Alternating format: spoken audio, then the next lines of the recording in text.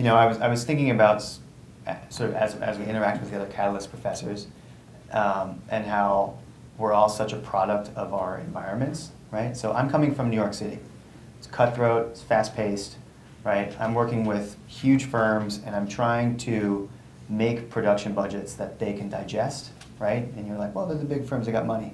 You know, they have, they do have more than small firms, but um, you know, we as a production company are a direct product of working with the type of clients that we work with. So you know, it's very different than being purely artistic, right?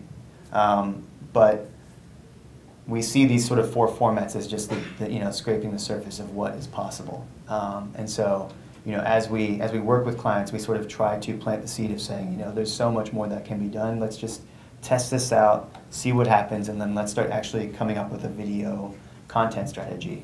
Um, so if you were you know trying to pick of what to do, this is my sort of you should be shooting some documentation in the house right now as an architect, right? And you guys do this in your studio projects, you document it. I'm really driving this home with my class right now. Is, is you know, they're, they're doing it in teams of two, and one one person is shooting, and the other person is sh- shooting the shooter, right? So the other person is actually photographing the person shooting, so that we can all learn from the setups. Um, and in the same way, as an architect, you need to be documenting your process, right? Um, so beyond just sort of scanning and taking photographs of your sketches and your models, but get out there and also take some clips of video of the building going up, of it being built, and beyond just sort of like here's the thing that's broken, this is what's wrong, or here's the nice detail that works. Get some some broader shots. You know, get the same shot every couple weeks so that you have a way to show the progression of the project, so that when you do engage a video company down the road, you have assets, um, which are critical. Um, so an in-house option, why would you want to shoot some stuff in-house? Super inexpensive, right? It's very easy to start shooting. It's a great way to create your content now. Um, capturing your own process. You know, we come back, we come to the firms all the time. We're like, oh, we want to, we want to tell, talk about our process.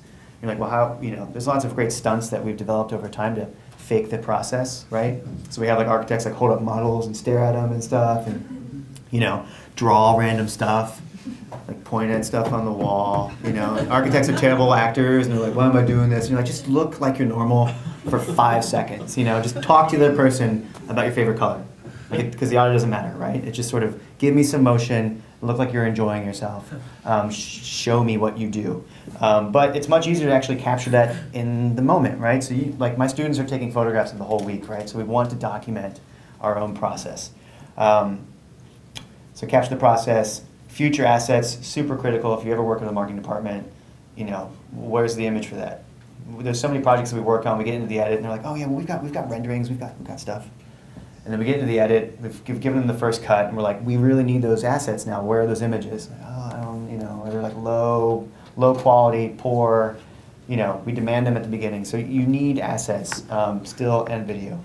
Um, so steps for doing that. Uh, most firms and, and folks are somewhat familiar with a DSLR camera, right? So it's, it's, a, it's a really nice photo camera that also shoots video.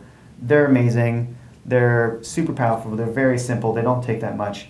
Uh, Um, and you know, uh, basically what I'm doing in, in my course this week is we're, we're learning fairly simple um, editing techniques. The edit doesn't really need that to be that complex. It's more about capturing the shots. So get some nice shots, slap them together, right, with a narrative, a simple narrative, right? It could just be like, this is the progression into the building. This is the experience of being in this building. Tell me the experience of the building. We all love to talk about the narrative of our designs. Just show it in video form with using these simple tools. Um, a fluid head tripod um, will go a long, long way. They get kind of pricey, but you know, low end, 800 bucks.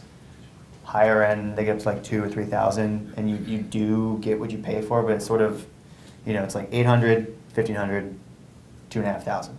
You know, so it's, and that's sort of the stages essentially. But an $800 fluid head tripod will give you those really subtle, slow moving um, pan and tilts that all architects love, right?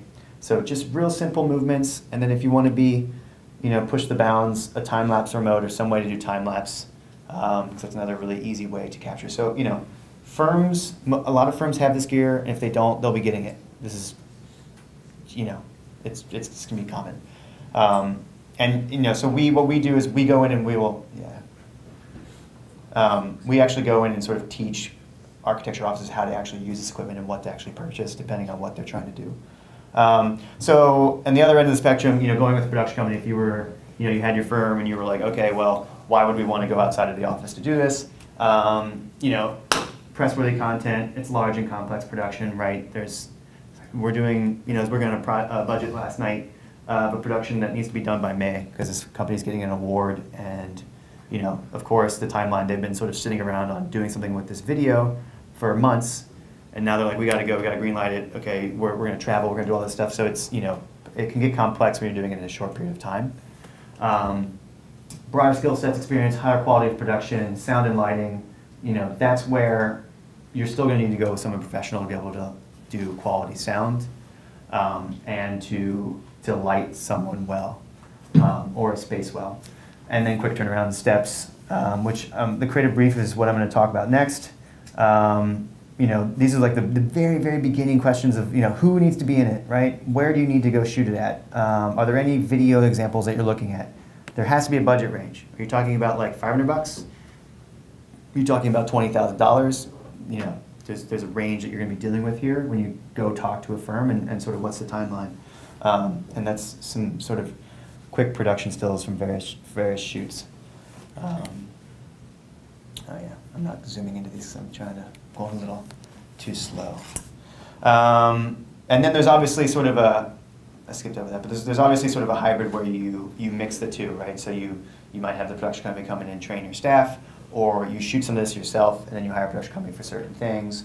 We've done stuff with firms that do a lot of graphics where they'll generate all the graphics and we put them in in the edit. Um, there's a lot of back and forth.